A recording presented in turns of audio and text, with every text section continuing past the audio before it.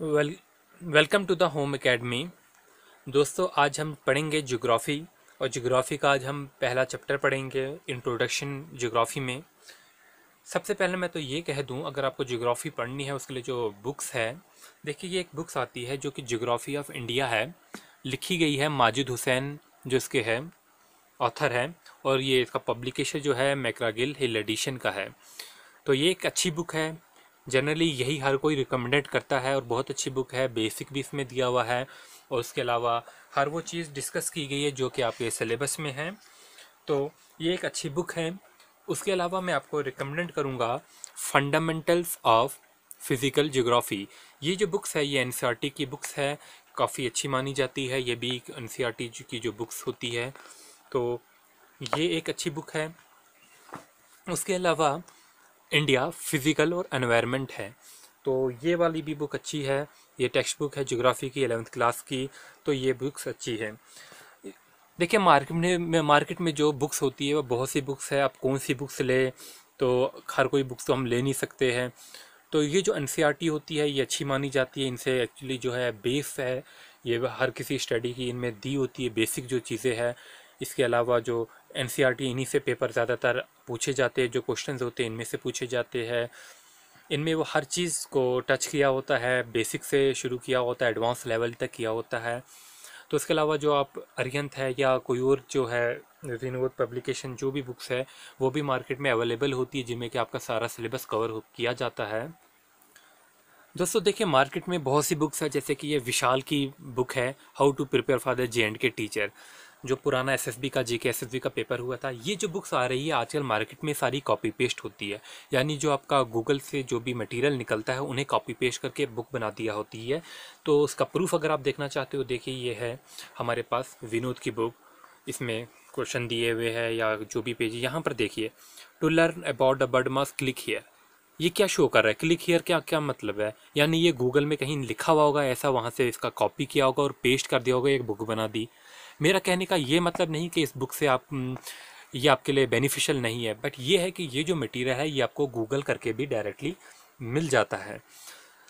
तो होप जब भी आपको बुक लेनी होगी, कोई एक बुक तो जिसमें सारा सिलेबस है, वो तो एक ज़रूरी होती है आपको लेनी पड़ती है। बट इस बात का भी ध्यान रखना, पहले अगर आप शॉप पे जाते हो बुक लेने, उसको एक बार रिव्यू कर लिया करो कि कैसी बुक है पेज उल्टा कर देख लिया करो।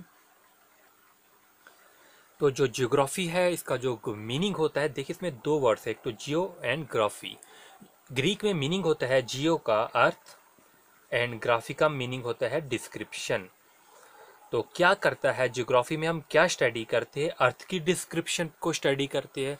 हम जानते हैं जो अर्थ है, इसकी जो फ़िज़िकल डिवीज़न है, जैसे कि इसमें माउंटेन्स है ओशंस है लेक्स है डिज़र्ट है, ठीक है? ये जो चीज़ें हैं, इनमें वेरिएशन है। सारी जो अर्थ है, वो बराबर नहीं है। इनमें बहुत ज़्यादा वेरिएशन है। वो हम स्टडी करते हैं जियोग्राफी में। जो टर्म जियोग्राफी है, ये कॉइंट की है इरिटोस्टिन्स ने। ये भी ग्रीक के स्कॉलर थे जिन्होंने ये टर्म जियोग्राफी है, ये कॉइंट की है। मल्टीपल चॉइस क्वेश्चन में पूछी जाती है ऐसी चीज़ें। और जो फ़र्स्ट जियोग्राफर थे, उनका नाम था हिका ट्विस एंथियो रेस्टस ये फ़र्स्ट जियोग्राफर थे। तो ये जो बातें हैं जल्द पूछी जाती है मल्टीपल चॉइस ऑफ़ क्वेश्चन में ये बेसिक है, आपको याद रखनी। अब ब्रांचेस ऑफ़ जियोग्राफी की बात करूँगा। इसमें फ़िज़िकल आती है, यानी फ़िज़िकल जियोग्राफी आती है। ठीक है? ह्यूमन जियोग्राफी आती है।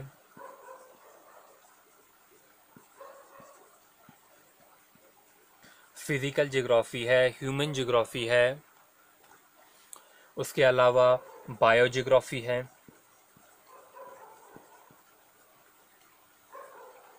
ठीक है, फिर कुछ जो ब्रांचेस है जोग्राफ़ी की, वो रीजनल अप्रोच की बेसिस पे भी है। तो पहले हम पढ़ते हैं फ़िज़िकल जोग्राफ़ी के बारे में। देखिए फ़िज़िकल जोग्राफ़ी में जो ब्रांचेस आती है, इसके अंदर फर्दर जो टाइप्स है जोग्राफ़ी की, उसमें जियोमॉर्फोलॉजी आता है। क्या आता है? जियोमॉर्फोलॉजी तो तो फ़िज़िकल ज्योग्राफी में जो हमें पढ़ना है वो है geomorphology climatology hydrology and soil geography तो बेसिकली जो पूछा जा सकता है वो ये है कि जैसे कि क्लीमेटोलॉजी इज़ रिलेटेड टू ऐसी चीज़ें। तो मैं पहले बोलता हूँ जियोमार्फोलॉजी देखिए जो जियोमार्फोलॉजी है is devoted to the study of land forms land forms की हम इसमें स्टडी करते हैं। उनका एवोल्यूशन देखते हैं और उनके जो भी रिलेटेड प्रोसेसेस है, वो हम देखते हैं जियो मॉर्फोलॉजी में।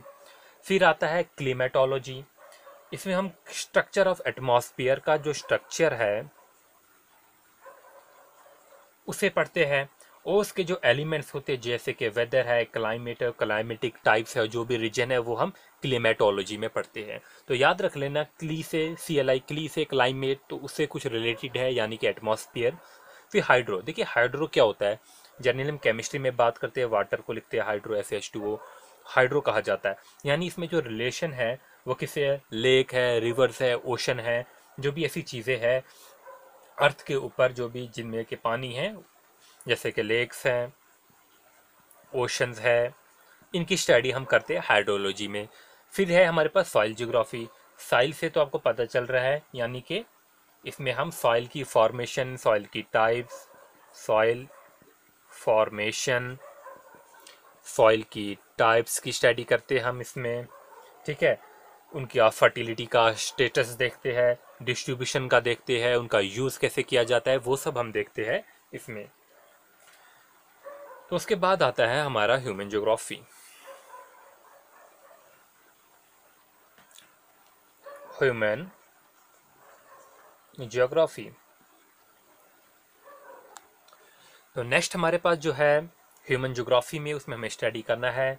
सोशल यानी कि cultural geography population and settlement geography economic geography और हिस्टोरिकल जियोग्राफी इसके अलावा भी हमारे पास पॉलिटिकल भी इसमें, इसी में आएगा। पॉलिटिकल जियोग्राफी में ही आता है। तो क्या होता है सोशल जियोग्राफी जैसे मैंने इसका नाम बोला सोशल एंड कल्चरल देखिए, इसमें सोसाइटी की हम स्टडी करते हैं। दरअसल वो तो हम सोशोलॉजी में जैसे करते हैं, मगर इसमें जो सोसाइटी का जो रिलेशन होता है, कल्चरल एलिमेंट से उनकी हम स्टडी करते हैं। फिर पॉपुलेशन सेटलमेंट, इसमें जो हम करते हैं, यानी कि जो डेंसिटी है, सेक्स रेशो जो आप देखा जाता है, या जो माइग्रेशन है, ठीक है, कहीं की डिस्ट्रीब्यूशन देखनी है, ग्रोथ देखनी है पॉपुलेशन की जो भी हम कह सकते हैं settlement geography study the characteristic of the rural and urban rural और अर्बन एरियाज़ की जो भी हमने स्टडी करनी है, उनकी सेटलमेंट उनके बारे में जानना है, उनका सेक्स रेशो कितना है, उनकी डेंसिटी कितनी है, किसी एक पर्टिकुलर एरिया में डेंसिटी कितनी है। तो वो सारी चीज़ें हम जो स्टडी करते हैं पॉपुलेशन जोग्राफी में करते हैं। फिर हमारे पास आता है इकोनॉमिक जोग्राफी इकोनॉमिक जोग्राफी में हमारा एग्रीकल्चर आता है टूरिज़्म आता है हमारी ट्रेड आती है। ठीक है? ऐसे फैक्टर जो भी है, यानी कि जो इंफ्रास्ट्रक्चर सर्विसेज़ है, वो सारी हमारे पास इकोनॉमिक जोग्राफी में आती है। फिर हमारे पास आता है हिस्टोरिकल जोग्राफी देखिए, हर कोई रीजन आता है, उसकी एक हिस्टोरिकल इंपॉर्टेंस होती है। ठीक है? Every region has undergone some historical experiences before attaining the present status तो उसमें क्या किया जाता है? कोई जो भी एक रीजन में अगर कोई रीजन है, उसमें आहिस्ता आहिस्ता एक टेम्परल चेंज आती है। ठीक है? वो सारी हम स्टडी जो करते हैं उस रीजन के बारे में, वो किसमें करते हैं? हिस्टोरिकल जियोग्राफी में चेंज जो कि स्टडी करते हैं, इसी में करते हैं। तो उसके बाद आता है पॉलिटिकल जियोग्राफी तो पॉलिटिकल जो जियोग्राफी है, हम इसमें पॉलिटि पॉलिटिकल एंगल से देखा जाता है लैंड को पॉलिटिकल एंगल से। यानी कि मैं कह सकता हूँ, जैसे कि स्पेस को देखा जाता है, जो नेबरिंग कंट्रीज़ की बाउंड्रीज़ है, उन्हें स्टडी किया जाता है इसमें पॉलिटिकल जियोग्राफी में। ठीक है, इसमें हम फ्रेमवर्क करते हैं to understand the political behaviour of the population तो इसके अलावा जो स्पेस रिलेशन जो भी मैंने कहा पॉलिटिकल इवेंट्स जो भी है, उनकी स्टडी हम करते हैं पॉलिटिकल जियोग्राफी में. तो नेक्स्ट हमारा है बायोजियोग्राफी तो बायोजियोग्राफी एक ऐसा सब्जेक्ट है बायोजियोग्राफी जिसमें हम रिलेशन देखते हैं और इंटरफेस देखते हैं, जो अभी हमने फ़िज़िकल जियोग्राफी देखा और हमने जो ह्यूमन जियोग्राफी देखा. जैसे इसमें एग्ज़ाम्पल है, इसमें जो हम पढ़ते हैं, वो उसमें प्लांट जियोग्राफी आती है, ठीक है? तो प्लांट जियोग्राफी में हम क्या स्टडी करते हैं, जो नेचुरल वेजिटेशन है, किसी खास हैबिटेट में। देखिए बॉटनी में हम प्लांट्स की स्टडी करते हैं बट प्लांट्स की जो हैबिटेट है, यानी कि किस रीजन में कौन से प्लांट पाए जाते हैं, जैसे कि देवदार पाए जाते हैं हमारे यहाँ पर जम्मू कश्मीर में। वैसे ही मैं बात कर रहा हूँ तो किस लोकेशन में कौन सा प्लांट पाया जाता है, उसकी जो हम स्टडी करते हैं, वो हम प्लांट जियोग्राफी में स्टडी करते हैं। उसके बाद हमारे पास आते हैं जू जियोग्राफी। जू जियोग्राफी जो जू है, जोलॉजी से रिलेटेड, यानी कि इसमें हम एनिमल्स की स्टडी करते हैं। एनिमल्स की स्टडी नहीं, एनिमल के हैबिटेट की स्टडी। कौन सा एनिमल कहाँ पे पाया जाता है? वो चीज़ें, उन एलिमेंट्स की करेक्टरिस्टिक, उन एलिमेंट्स, उनका जो एनिमल्स है, उनका पैटर्न देखा जाता है और उनकी हैबिटेट देखा जाता है, किस एनवायरनमेंट में वो रहते हैं। ये चीज़ें। फिर हमारा आता है एक और, जैसे कि इकोलॉजी। जिसे आप इकोसिस्टम भी कहते हो, ठीक है? It deals with the scientific study of the habitat and characteristics of the species जैसा कि मैंने इनमें कहा हैबिटेट की स्टडी की जाती है साइंटिफिक और करेक्टरिस्टिक्स देखी जाती है। हर स्पीसीज की हम करेक्टरिस्टिक्स देखते हैं, वो किस लोकेशन में रह रही है, किस तरीके से रह रही है। फिर हमारे पास आता है एनवायरमेंटल एनवायरमेंटल जियोग्राफी नेक्स्ट आता है, इसमें हम देखते हैं एनवायरमेंटल जो प्रॉब्लम्स होती है, जैसे कि लैंड ग्रेडेशन पोल्यूशन है, ठीक है, और conservation has result in the introduction of this new branch that is environmental geography तो जो भी हमारे पास हो रही है पॉपुलेशन की जो भी कंसर्न है, जैसे कि पोल्यूशन है हमारे पास फिर सॉइल कंजर्वेशन है, या जो भी मेथड इसमें है, वो हमारे एनवायरनमेंट से जो भी रिलेटेड है तो वो हम पढ़ते हैं एनवायरमेंटल जियोग्राफी में।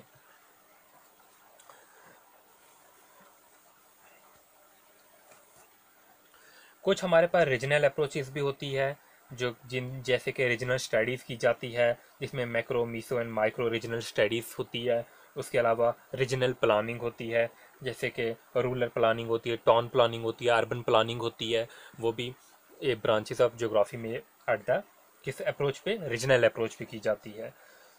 तो उसके अलावा एन बुक का क्वेश्चन है which of the following scholar coin the term geography जैसा कि हमने अभी पढ़ा इरिथोस्थेंस तो ये क्वेश्चन जो है मल्टीपल चॉइस क्वेश्चन जो एन e में दिया है वो कवर करने की कोशिश करेंगे साथ साथ जो भी हम पढ़ेंगे। तो which of the following coin the term geography तो अभी हमने वीडियो में भी पढ़ा था इनके बारे में। एक और क्वेश्चन दिया गया है which of the following discipline attempt the temporal synthesis option है sociology anthropology geography and history पूछा है टेम्पोरल सिंथेसिस के बारे में।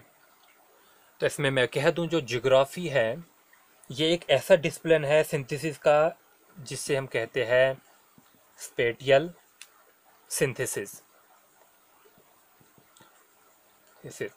और जो हमारी हिस्ट्री होती है, वो होती है टेम्पोरल सिंथेसिस हिस्ट्री जो होती है, वो होती है टेम्पोरल सिंथेसिस तो ये एन e के क्वेश्चन है, ये तो आपको तैयार कर लेने चाहिए। बाकी जो भी बहुत सी बुक्स होती है मार्केट में, उनमें बहुत से वैरायटी के क्वेश्चन दिए होते हैं।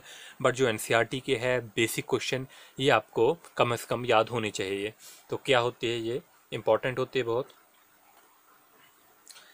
अब मैं शुरू करता हूँ। अर्ली जो थ्योरीज़ हैं, उनके बारे में जो ओरिजिन ऑफ़ थर के अर्थ के रिलेटेड जो थ्योरीज़ है, हमारे पास बहुत सी थ्योरीज़ है, बहुत ज़्यादा हाइपोथेसिस है। डिफरेंट डिफरेंट फिलासफर ने डिफरेंट डिफरेंट साइंटिस्ट ने दिए हैं। विद टाइम जैसे जैसे गुजरता गया, हर कोई अपना अपना हाइपोथेसिस देता गया, अपनी अपनी थ्योरी देता गया। जिनमें कि, जिनमें कुछ पॉपुलर है, जैसे कि जर्मन फिलासफर है इमेनल कांट उन्होंने दिया, फिर लेप्लास ने दिया, जो कि मैथमेटिशियन थे। तो उनके बारे में मैं थोड़ा सा बोलता हूँ, जो थ्योरी थ्योरीज है। देखिए, पहली जो था गैशियस हाइपोथेसिस था। गैशियस हाइपोथेसिस दूसरा में आता था नेबुलर नेबुलर हाइपोथेसिस फिर हमारे पास आता था tidal hypothesis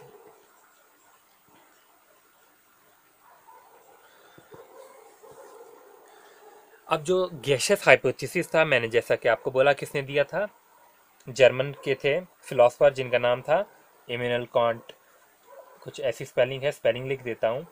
I double M A N U E L M L K A N T फिर जो नेबुलर हाइपोथेसिस था, आपका मैं ऐसे डिफरेंस से करा देता हूँ ताकि याद रहे।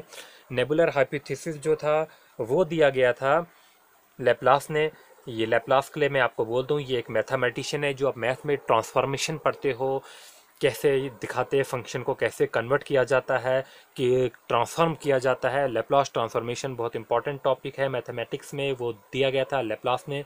उसके अलावा इन्होंने नेबुलर हाइपोथेसिस भी दिया है। फिर हमारे पास आती है टाइडल हाइपोथेसिस ये दिया था जीन्स एंड जेफरीज ने। जीन्स एंड जेफरीज ने दिया हुआ था टाइडल हाइपोथेसिस तब कैसे हाइपोथेसिस के बारे में ये था, ये ये मानता था जो क्लाउड्स है, यानी कि जो बादल है, वो फ्लैट हो गए हैं और वो ग्रेविटी की मदद से वो नीचे आ गए और नीचे वो सेटल हो गए हैं और उन्होंने अर्थ बनाई है। तो क्या कहता था? लिख दो। Clouds of gases and down under the gravity to create the earth एक और बात मैं रिपीट कर रहा हूँ।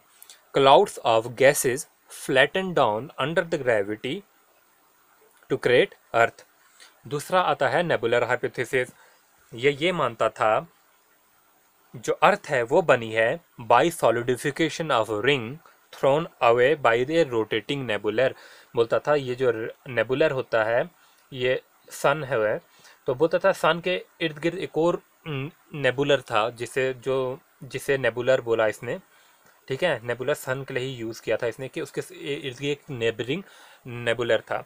तो उसकी जो सॉलिडिफिकेशन हुई है उस रिंग को, जो सॉलिडिफाई किया है, वो सॉलिडिफाई होने के बाद जो सन ने है उसको साइंटिफिकल फोर्स से दूर फेंक दिया गया। अगर दूर फेंक दिया गया, वो जो है, वो नीचे जाके सेटल डाउन हो गया, वो सॉलिडिफाई हो गया। ठीक है रोटेटिंग जो नेबुलर था, जो घूम रहा था सन के इर्द गिर्द जो घूम रहा था, वो सेटल डाउन हो गया अर्थ और वो उसने अर्थ बना दी। फिर हमारे पास एक और थ्योरी आती है जो जीन्स है। एंड जेफरीज ने दी। वो क्या प्रपोज करता था? Effect of two nebula in forming the earth ये बोलता था, यहाँ पर जो दो नेबुलस है, उनका जो इफ़ेक्ट था अर्थ बनाने में। इन्हीं का इफ़ेक्ट था इन दो नेबुलास का अर्थ बनाने में। ये तो थी हमारी कुछ पुरानी थ्योरीज अब जो मॉडर्न थ्योरी आती है, उनमें हमारा आता है बिग बैंग हाइपोथेसिस मैं यहाँ पर लिख देता हूँ बिग बैंग हाइपोथेसिस तो ये क्या कहता था? इट इज़ ऑल्सो इसको हम कहते हैं एक्सपेंडिंग यूनिवर्स हाइपोथेसिस क्या कहते हैं? एक्सपेंडिंग इसका ये मानना था, जो यूनिवर्स है, वो लगातार एक्सपेंड होती जा रहा है, वो एक्सपेंड होती जा रहा है। तो इसके लिए आप एक एक्सपेरिमेंट भी कर सकते हो, क्या मतलब इस एक्सपेंड होने का यूनिवर्स का। हमारे पास एक बैलून है, ये बैलून है। ठीक है? अब इस पर हम कुछ डॉट्स लगाते हैं सपोज़ एक डॉट इधर, एक डॉट इधर, एक डॉट इधर। अब ये कहता था कि एक टाइम आया था जब इसे इन्फ्लेट किया गया। एग्जांपल ले लो इन्फ्लेट किया, यानी कि हमने ईयर भर ली बैलून में। बैलून का क्या साइज़ बड़ा हो गया? ठीक है? अब ये जो स्टार थे, ये जो स्टार थे, ये जो स्टार थे, इनका डिस्टेंस बढ़ती गया। ये मतलब था इसका एक्सपेंड होने का कि ये जो है, अर्थ ये जो है यूनिवर्स ये ऐसे एक्सपेंड हुआ है तो मैं कह दूँ, ये कहता था एडविन हब्बल ने ये प्रपोज किया था 1920 में, क्या नाम था साइंटिस्ट का? एडविन हबल इसने दी थी, क्या थ्योरी दी थी? बिग बैंग थ्योरी और बिग बैंग हाइपोथेसिस भी कहते हैं हम उसे, और वो क्या कहता था, जो हमारा यूनिवर्स है, वो क्या हो रहा है एक्सपेंड होती जा रहा है, ठीक है? जैसे जैसे टाइम पास हो रहा है, जो गलेक्सीज है, वो एक दूसरे से दूर चली जा, चलती जा रही है। तो हमने जो एक्सपेरिमेंट देखा एक्सपेंड का मतलब क्या होता है? कुछ यही इस बेसिक जो आइडिया है, इसका यही था। मगर लास्ट पे क्या हुआ? जो बैलून की एग्ज़ाम्पल थी, वो पार्शली करेक्ट है, क्योंकि ये देखा गया जो गलेक्सीज है, वो एक दूसरे से ज़्यादा दूर नहीं गई है। तो जो ये है, ये जो हाइपोथेसिस था, ये नहीं सपोर्ट करता था एक्सपेंशन ऑफ़ द गलेक्सीज को। जो इसने कहा था कि गलेक्सीज जो है वो एक्सपेंड हो रही है। बट एक्चुअली में ये जो था, ये इसे सपोर्ट नहीं कर रहा था। उसके बाद जो था, इसने कुछ और पॉस्टुलेट्स थे इसके बिग बैंग थ्योरी के।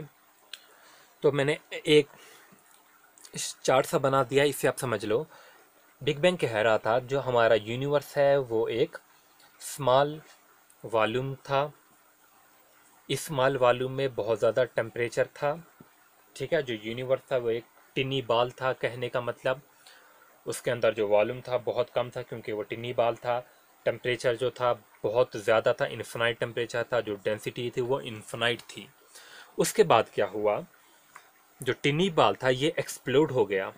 ठीक है एक्सप्लोड हो गया। एक्सप्लोड होने की वजह से एक्सपेंशन हो गई, यानी बहुत फैलती गया फैलती गया फैलती गया, बड़ा हो गया। और जो ये इवेंट हुआ था, वो कहता है 13.7 बिलियन ईयर्स अगो हुआ। ठीक है? बिलियन ईयर्स अगो तो जो पूछा जाता है आपको, इसमें ये कहा जाता है कि बिग बैंग का जो इवेंट हुआ था, वो कब हुआ था? 13.7 बिलियन ईयर्स एगो ऑप्शन में 13.7 होगा। बिलियंस की जगह मिलियंस भी दे देते हैं कंफ्यूज करने के लिए। जो डेट होती है, वो मिलती जुलती इसमें जो कुछ है, जैसे 4.6 बिलियन ये जो चीज़ें हैं, ये मिक्स कर देती है। आपको यह इवेंट याद रखना है। बिग बैंग का जो इवेंट हुआ था वो कब हुआ था? Thirteen point seven years ago हुआ था। जब ये इवेंट हुआ था, उसके बाद ही बोलता है जो टेम्परेचर है, वो सडनली ड्रॉप होने लगा। ठीक है? ये जो इवेंट हुआ था, ये फ्रैक्शन ऑफ़ सेकंड के लिए बोल रहा था कि ये हुआ और अचानक से जो एक्सप्लोड होने के बाद एक्सपेंड हो गया। उसके बाद जो है टेम्परेचर वो स्लो डाउन होती गया। आहिस्ता आहिस्ता जो टेम्परेचर स्लो डाउन होती गया। तो कहने लगा बाद में कितने ईयर्स के बाद? थर्टी लैख ईयर्स लगे। बिग बैंग टेम्परेचर जो था, वो बाद में ड्रॉप हुआ फोर्टी फाइव हंड्रेड कैलविन तक and gave rise to the atomic matter इसने राइज दिया कि ये it give rise to the atomic matter तो यहाँ से एटॉमिक मैटर आए। ठीक है? और यू, जो यूनिवर्स था, वो उसने कहा उस टाइम कि यूनिवर्स उसके बाद से ट्रांसपेरेंट हो गया। ये कुछ समरी सी मैंने कह दी आपको। तो ये जनरल जो समरी थी, बिग बैंग की थी। तो बिग बैंग थ्योरी के मुताबिक आज भी हमारा जो यूनिवर्स है, वो एक्सपेंड होती जा रहा है। तो जो इसके, इसका मतलब जो था, जो स्पेस है गैलेक्सीज के बीच में वो बढ़ती जा रही है यूनिवर्स है, वो हमेशा के लिए एक्सपेंड होती जाएगा थोड़ा थोड़ा ही होगा, मगर होगा।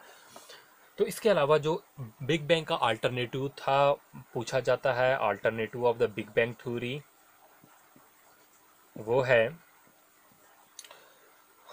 Hoyle's concept H O Y L Hoyle's concept था, जो कि बिग बैंग का अल्टरनेटिव था। तो ये भी एक पॉइंट है, याद रख लेना। अब हम देखेंगे जो हमारा जो अर्थ है नेचर ऑफ़ द अर्थ है, उसके बारे में। देखिए, जो हमारा अर्थ है, ये एक लायर्ड स्ट्रक्चर है। कहने का मतलब जो अर्थ है, इसमें लायर्स बनी है, ये सपोज़ हमारी अर्थ है। इसमें डिफरेंट डिफरेंट लायर्स हैं। ठीक है? पहली जो लायर्स है, उसे हम क्रस्ट बोलते हैं। क्या कहते हैं? क्रस्ट फिर जो लायर है मेंटल कहते हैं और फिर जो लायर है कोर कहते हैं। क्या कहते हैं? कोर कहते हैं। तो क्रस्ट है मेंटल है कोर है, ये तीन हमारे पास लायर है। तो इनके बारे में जो याद रखना है क्रस्ट में, यानी कि ये जो तीन है ये क्या है? नेचर ऑफ़ अर्थ हम पढ़ रहे हैं। अर्थ की तीन लायर्स हैं। कोर है मेंटल है क्रस्ट है। जो हमारा पहला है क्रस्ट उसमें जो इससे इसके अंदर जो एलिमेंट होते हैं, वो सिलिका है और प्लस एल्युमिनियम होता है। मेंटल में जो एलिमेंट होते हैं, वो सिलिका प्लस मैग्नीशियम होता है। जो कोर होता है इसके अंदर आउटर कोर होता है इनर कोर होता है।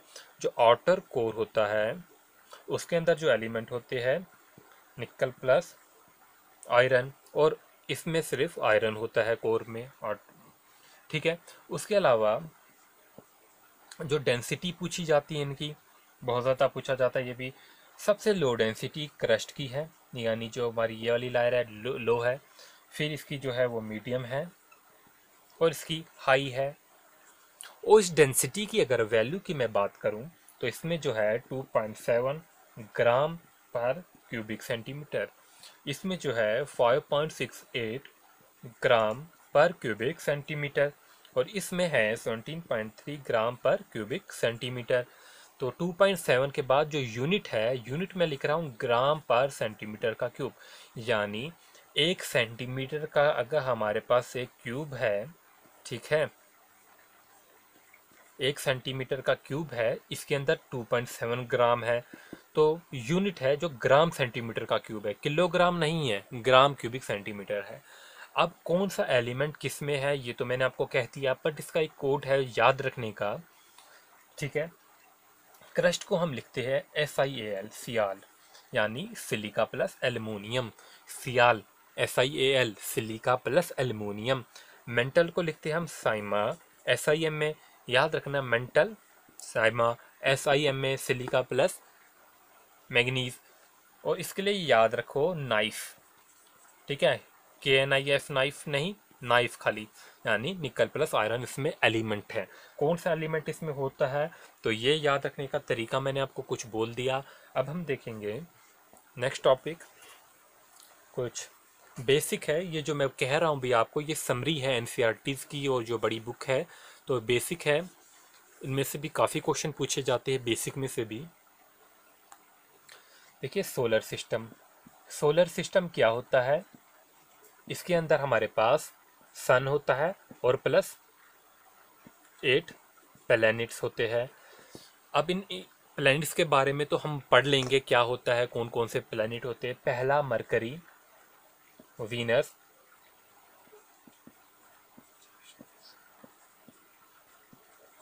ये मैंने एक कोड बना दिया। देखिए, Mercury, Venus, Earth, Mars Jupiter Saturn Uranus, and Neptune. ये हमारे पास आठ प्लानट होते हैं। पहले नौ थे, ठीक है? फिर बाद में ड्रॉफ माना गया प्लोटो। ये एक कोड है। तो याद रख लेना, ये आता है, ये इस तरीके से मैंने कोड बनाया है कि ये सन है और सन से ऐसे। तो ये आता है कि कौन सा प्लेनेट ये नंबर के साथ याद रखना है। प्लेनेट तो आप याद रख लोगे सारे। पहले सन है, ठीक है? सन के बाद आ रहा है मरकरी फिर वीनस अर्थ नंबर पूछा जाता है कि कौन सा प्लेनेट किस टाइम पे आ रहा है। तो इसके लिए एक मैं फार्मूला आपको बोलता हूँ। याद रखने के लिए, देखिए my very educated mother just serve us knife pizza ठीक है? तो ये कोड अगर याद रखोगे तो आपके एलिमेंट ये जो हमारे प्लैनेट्स है, ये आपके याद हो जाएँगे लाइन से याद हो जाएँगे। तो अब इन प्लैनेट्स के बारे में अगर मैं आपको कहूँ, इनकी जो समरी है बेसिक जो इनमें पूछा जाता है, कौन सा ब्राइटेस्ट कौन सा देखिए, जो प्लैनेट है, वो रोटेट करते हैं from west to east west से ईस्ट की तरफ़ प्लैनेट जो है, रोटेट करते हैं। मगर यहाँ पर एक एक्सेप्शन है, वो ये, जो हमारे पास वीनस है और जो यूरेनस है, वो रोटेट करते हैं ईस्ट टू वेस्ट याद रख लेना, ठीक है? उसके अलावा जो जुपिटर है has the largest number of satellite ये पॉइंट्स है नोट करो, मैं लिखूँगा नहीं। Jupiter has the largest number of satellite और वो सैटेलाइट कितनी है? Sixty three. Venus and Mercury के लिए पास वन वन सैटेलाइट। जो ब्राइटेस्ट है, वो वीनस है और जो क्लोजेस्ट है, वो वीनस है। स्मॉलेस्ट मरकरी है। ठीक है। देखिए, अब है हमारे प्लान प्लैनेट्स के बाद सन। ये मैंने सन का एक कुछ जर्नल सा ओवरव्यू सा बना दिया है। जो 99 परसेंट जो मास है सोलर का सिस्टम का, वो क्या है? सन का। 99 percent mass so of solar system is sun जो ग्लोइंग सरफेस जो होती है सन की, उसको बोलते हैं फोटोस्पियर तो इस फिगर में जैसे ये जो डॉट्स है, ये ये है फोटोस्पियर ग्लोइंग सरफेस होती है photosphere above the photosphere is the chromosphere photosphere के जो ऊपर होते हैं, वो क्या होते हैं? क्रोमोस्पियर ये जो है क्रोमोस्पियर है।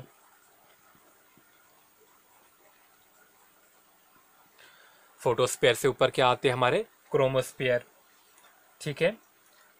और जो क्रोमोस्पियर होता है, यही होता है रेड कलर का। रेड कलर का। And beyond it is the magnificent corona which is visible during the eclipse इससे पीछे जो है, वो है मैग्निफिकेंट कोरोना, ये जो पॉइंट दिख रहे हैं ना, डार्क डार्क तो मैग्निफिकेंट कोरोना ये विजिबल होता है जब एक्लिप्स लगता है, जैसे कि लूनार एक्लिप्स लगा या सोलर एक्लिप्स जो लगे, उस टाइम जो है ये विजिबल होते हैं। ठीक है? कोरोना। उसके बाद आता है, जो गैसेस इसके अंदर होती है, वो हाइड्रोजन और हीलियम होती है तो वो जो बर्न हो रहती है यहाँ पर कौन कौन सी? हाइड्रोजन एंड हीलियम तो इसे हम बोल सकते हैं बर्निंग कोर ठीक है। फिर जो टेम्परेचर इसके अंदर होता है सन के अंदर वो होता है प्रिजन सिक्स थाउज़ेंड डिग्री सेंटीग्रेड होता है। और इसके लिए एक और बात है, ये ten raised power six times bigger than the earth sun जो है ten raised power six time जो है बिगर देन द अर्थ इसके डायमीटर की अगर मैं बात करूँ one three nine one nine eight zero kilometre है। जो time taken by the sunlight to reach the earth ये सनलाइट है जो कि अर्थ की तरफ़ आ रही है। अगर ये हमारी अर्थ है, इसमें जो टाइम लगता है, वो है eight minute sixteen point six second note करो, ये पॉइंट्स को इंपॉर्टेंट है और जो टेम्परेचर है कोर का, वो है फिफ्टीन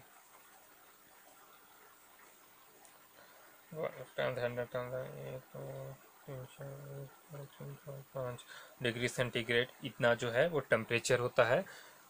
उसके अलावा जो है अब प्लैनेट्स के बारे में मैं थोड़ा और बोल दूँ।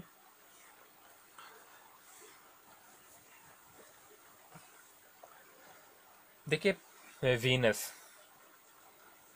वीनस के बारे में पहली बात brightest planet hottest planet morning and evening star भी कहा जाता है इसे। ठीक है? और ये है nearest planet to the earth इसके अलावा slowest rotation in the solar system Venus की जो है सोलर रोटेशन है सोलर सिस्टम में. अर्थ ट्विन भी कहा जाता है इसको. इसके अंदर जो है 90 to 90 percent of the carbon dioxide होती है. कितनी? 90 to 92 percent of C O two फिर सेवेंटी परसेंट इसके अंदर एल्बिडो